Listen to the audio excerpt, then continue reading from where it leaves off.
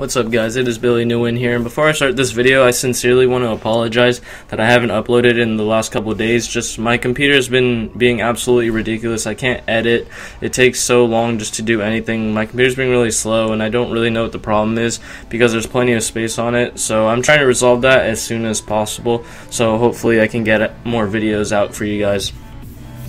Now getting on to the video, uh, this is kind of like a physique update because I did finally get some workout footage in because I do want my channel to be mainly about fitness.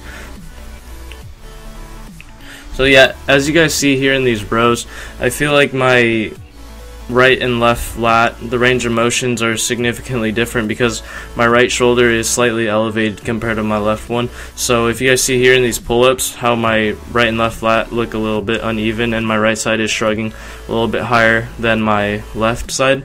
And I feel like the reason for this is because of my job. When I used to work at Chipotle, I used to work a lot more hours. I worked about 30 hours a week during the summer and I worked on grill. So I did a ton and a ton of cutting with a knife, cutting chicken, cutting steak, stuff like that. So I feel like having my shoulder in that elevated position has changed the composition of my body a little bit. So the range of motion in my mind muscle control on my right side is slightly off compared to my left.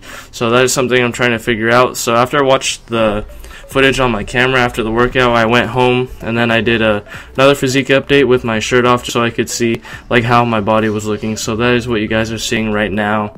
And by the time you guys are seeing this video, I'm going to be in LA because I'm going to the LA Fit Expo. It's going to be a ton of fun. I got a ton of footage coming for you guys. It's going to be a great time, and I will see you guys in the next video. Thank you so much for your patience and support. I really, really appreciate it.